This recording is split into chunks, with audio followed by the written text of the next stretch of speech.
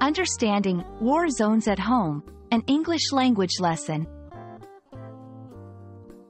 Hello, everyone. Welcome to our English language learning series.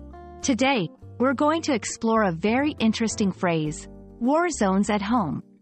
This phrase is a powerful metaphor used in the English language to describe certain situations. Let's dive in and understand its meaning and usage. War zones at home combines two concepts, war zones and home.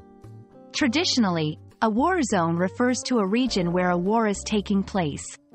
However, in this metaphorical usage, it doesn't mean an actual battlefield. Instead, it signifies a place of conflict or turmoil. The word home usually means a place where one lives, often a place of comfort and safety.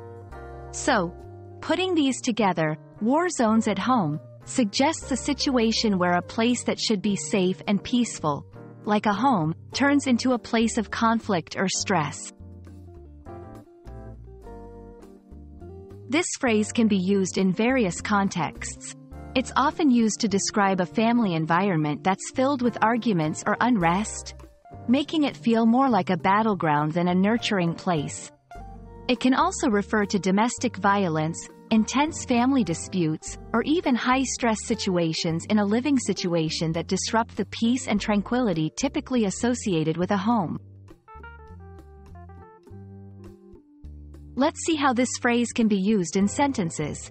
1. After their parents' divorce, the children felt like they were living in war zones at home. 2. The constant quarreling between the roommates turned their apartment into war zones at home.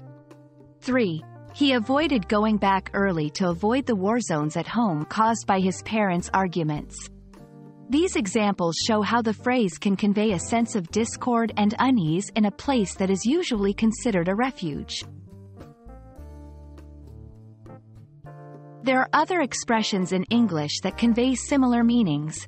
For instance, a house divided, living in a battleground, domestic unrest, Understanding these phrases can enrich your English vocabulary and help you express complex situations more effectively.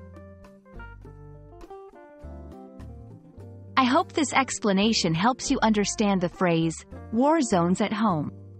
Remember, language is not just about words. It's about the ideas and emotions they convey. Happy learning, and see you in our next video.